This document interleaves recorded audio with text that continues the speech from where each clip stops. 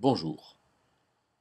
Réfléchissons un peu aujourd'hui à l'occultisme dans euh, tout ce que ça peut euh, être d'action responsable et d'engagement.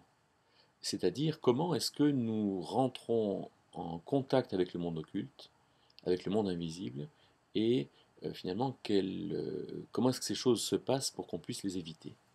Alors l'occultisme, euh, occultus veut dire caché, donc l'occultisme c'est le rapport au monde invisible, et euh, nous avons nous à nous garder de toute action de contacter le monde invisible, parce que le monde invisible, euh, bien sûr le monde invisible adverse, en dehors de tout ce que Dieu peut être, ce monde invisible nous est néfaste, et Dieu le donne en quelque sorte pour ceux qui voudraient faire, faire le mal, pour qu'ils en aient la puissance.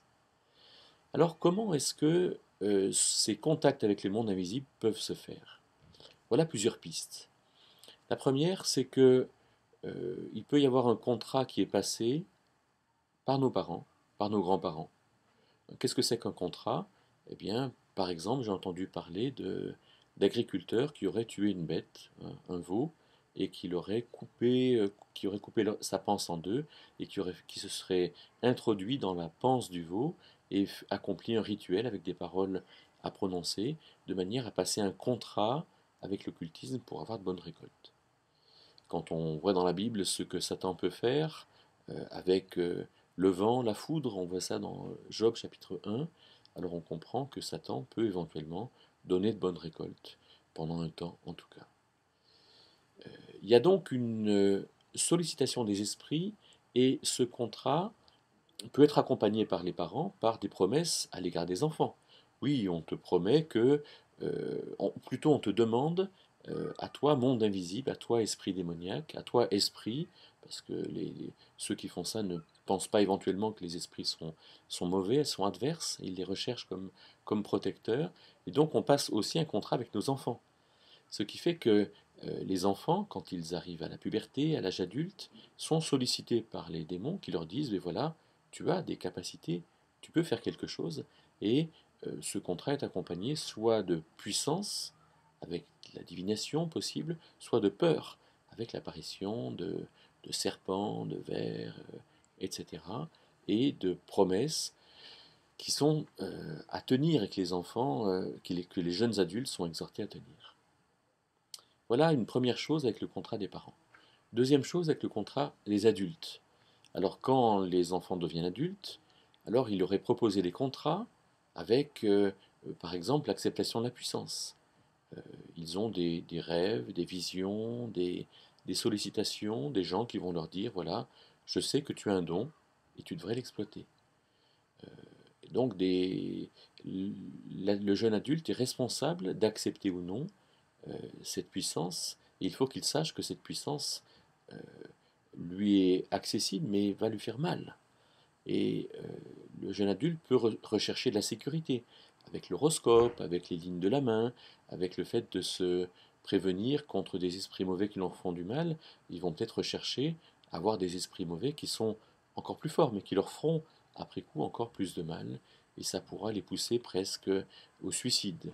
Hein. Euh, écoutez le témoignage pour cela sur Internet d'Alan Rich. Alors ces, jeunes peuvent aussi, être sous l'influence familiale avec cette volonté de transmission familiale et donc peuvent dire ben oui, ben dans ma famille j'ai euh, ces pouvoirs et il est logique que je les recherche. Comment se font ces contrats? Eh bien, ils se font par l'initiation de quelqu'un. Alors, euh, j'ai entendu quelqu'un me raconter qu'un jour, l'ami de sa mère est venu et lui a passé sur le corps un enduit, une espèce de pommade, et lui a fait prononcer un rituel. J'ai entendu quelqu'un d'autre me dire qu'un jour, sur l'armoire, quelqu'un a mis un fruit qu'il a laissé pourrir, et il a mis des cure-dents dans ce fruit, quand le fruit a été pourri, alors les deux se sont allongés sur le lit, et se sont donné la main, et il y a eu euh, une initiation qui a été faite. J'ai entendu une autre personne me dire que un jour son pasteur lui a dit Est-ce que tu veux avoir des visions? Hein, c'est bien, Dieu nous appelle à cette euh, puissance-là. Et alors, il a, euh, quand le pasteur lui a imposé les mains en priant, il est tombé par terre, il a commencé à avoir des visions, et à partir de ce moment-là, à ressentir aussi beaucoup de tristesse. Donc, euh, attention à tous ces contrats, à toutes ces choses dans lesquelles le nom de Jésus-Christ n'est peut-être pas prononcé. Et le nom de Jésus-Christ, c'est la clé pour savoir vers quoi nous mènent ces choses.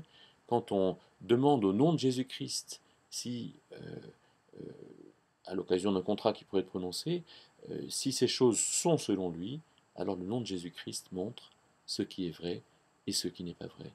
Faisons donc attention à ne pas avoir de, rapport avec le monde occulte, pas avoir de, à ne pas rechercher ou cultiver des choses qui nous sont données, mais au contraire à nous en garder avec beaucoup de précaution, et nous verrons que euh, là, bien Dieu euh, finalement honorera notre parole.